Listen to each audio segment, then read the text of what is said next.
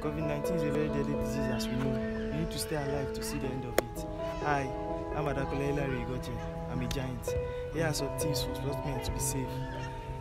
Number one, avoid joining group section and mass fixtures. This will minimize and keep you safe to the virus. Number two, always wash your hand with soap and water. Hi, I'm David Johnson. I'm a giant.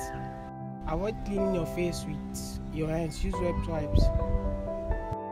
Avoid touching surfaces with your hands. Always keep your hands clean.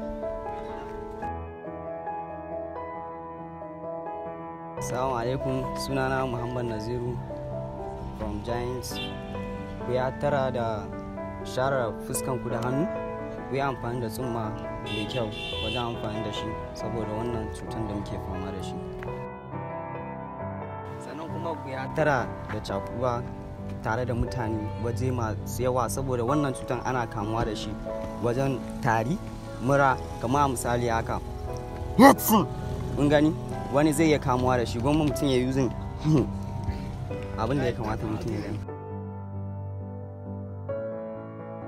sunana abdullahi nasi yana ne na batun coronavirus ɗin nan. Mutane kasan nigeria dan ba ku wani shawara ne akan corona ɗin nan.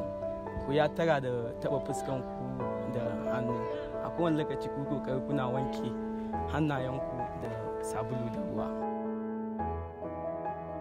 The social distance from at least 3 feet or 1 meter from other people. Keep doing your personal training. Be the best. Be the giant over convey. Stay safe, stay home, stay healthy. Thank you.